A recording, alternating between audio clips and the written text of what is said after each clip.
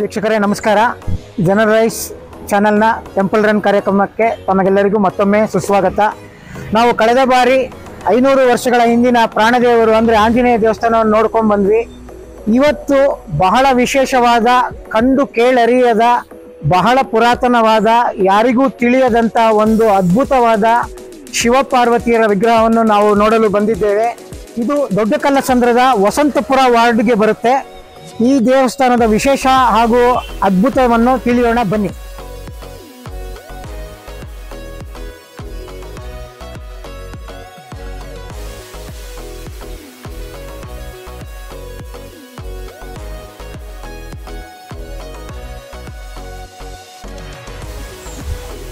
ವೀಕ್ಷಕರೇ, ನಾವು ಈಶ್ವರನನ್ನು ಲಿಂಗ ರೂಪದಲ್ಲೇ ಬಹಳವಾಗಿ ನೋಡೋದು.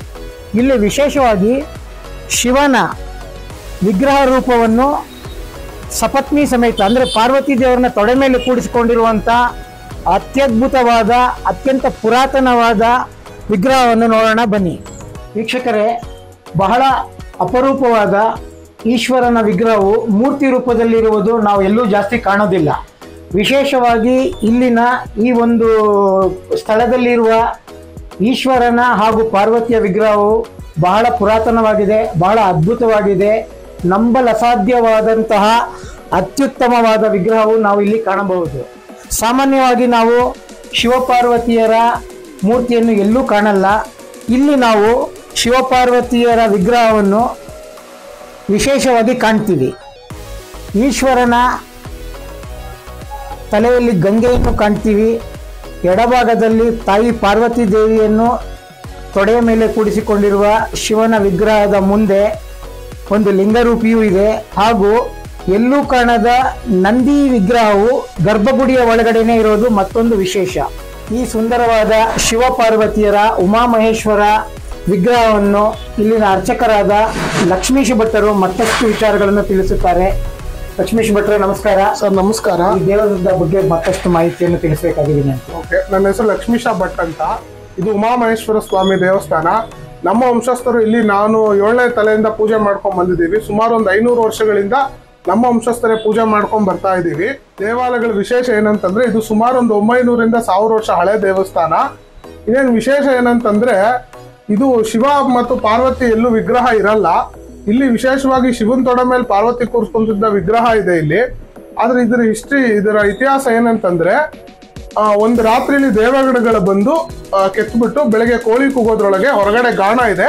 ಆ ಗಾಣದಲ್ಲಿ ಎಣ್ಣೆಯನ್ನು ತೆಗೆದು ತೈಲಾಭಿಷೇಕವನ್ನು ಮಾಡಿ, ಪೂಜೆ ಮಾಡಿ ಮಾಯ ಆಗಿರೋದು ಅಂತ ಒಂದು ಪ್ರತೀತಿ ಇದೆ.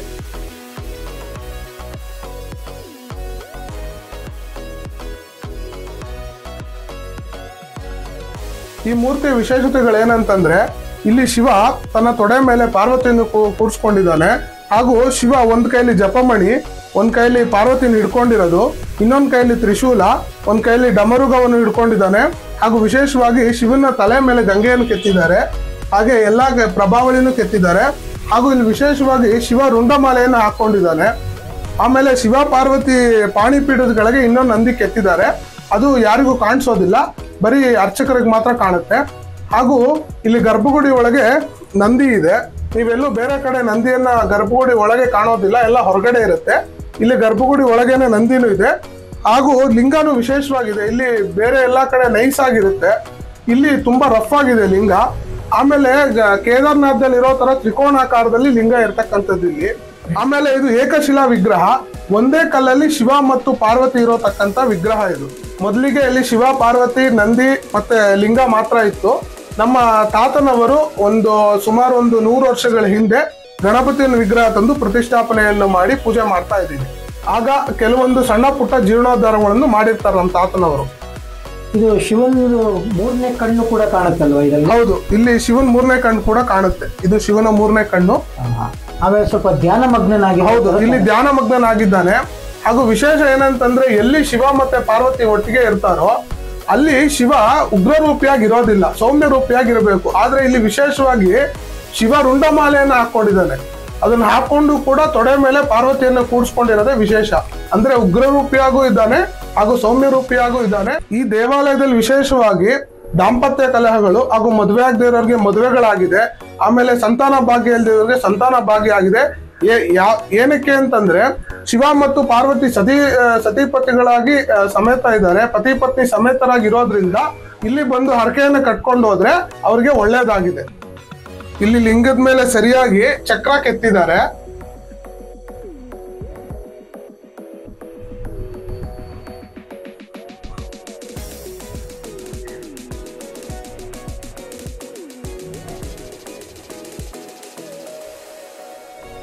ಈ ದೇವಸ್ಥಾನದ ವಿಶೇಷ ಪೂಜೆಗಳೇನಂತಂದ್ರೆ ಇಲ್ಲಿ ವಿಶೇಷವಾಗಿ ಸೋಮವಾರ ಅಮಾವಾಸ್ಯೆ ಪೌರ್ಣಮಿಗಳಂದು ರುದ್ರಾಭಿಷೇಕ ಪಂಚಾಮೃತ ಅಭಿಷೇಕ ಎಲ್ಲ ಇರುತ್ತೆ.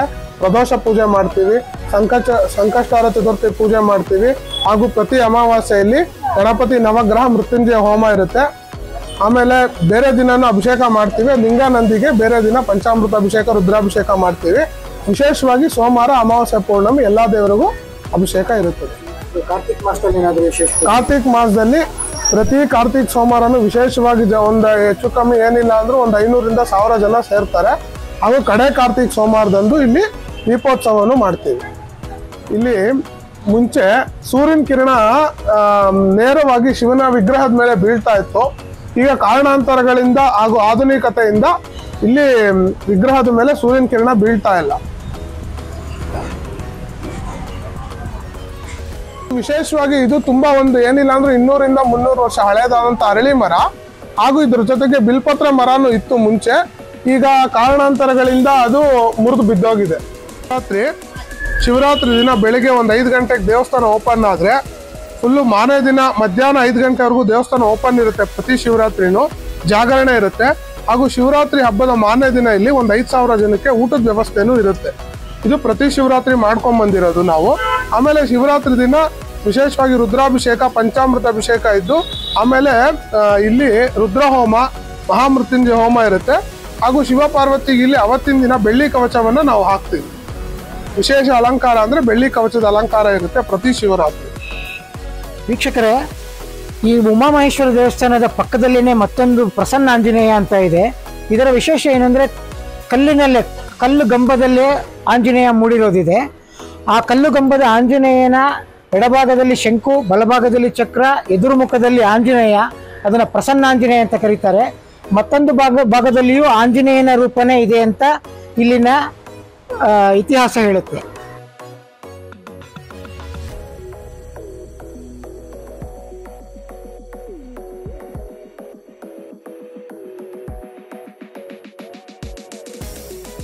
ನೋಡಿರಲ್ಲ ವೀಕ್ಷಕರೇ, ಈ ಉಮಾಮಹೇಶ್ವರ ದೇವಸ್ಥಾನ ಬಹಳ ಅಪರೂಪವಾದದ್ದು, ಪುರಾತನವಾದದ್ದು. ಈ ಸನ್ನಿಧಾನಕ್ಕೆ ತಾವೆಲ್ಲರೂ ಕುಟುಂಬ ಸಮೇತ ಬನ್ನಿ, ಮತ್ತಷ್ಟು ಜನಕ್ಕೆ ವಿವರಣೆಗಳನ್ನು ಕೊಡಿ, ಈ ರೀತಿಯ ಪುರಾತನವಾದ ಇತಿಹಾಸ ಪ್ರಸಿ, ಪ್ರಸಿದ್ಧವಾದ ದೇವಸ್ಥಾನಗಳನ್ನು ಉಳಿಸಿ, ಬೆಳೆಸಿ. ಮುಂದಿನ ದಿನ ಮತ್ತೊಂದು ವಿಶೇಷವಾದ ದೇವಸ್ಥಾನವನ್ನು ನೋಡೋಣ. ನಮಸ್ಕಾರ. ಸಮಸ್ತ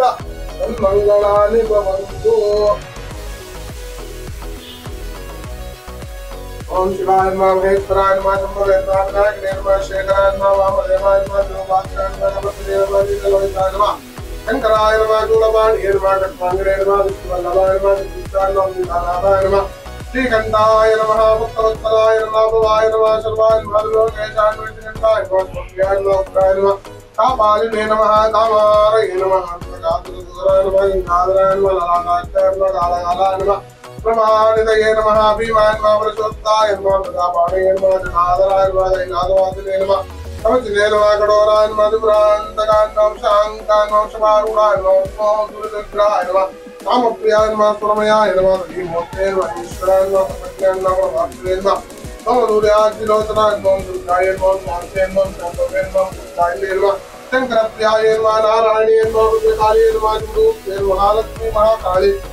महासरस्वती महागौरी देवता नमः शिवाय चतुष्पादाय धीमहि तन्नो नन्दी प्रचोदयात् उमा परमेश्वरा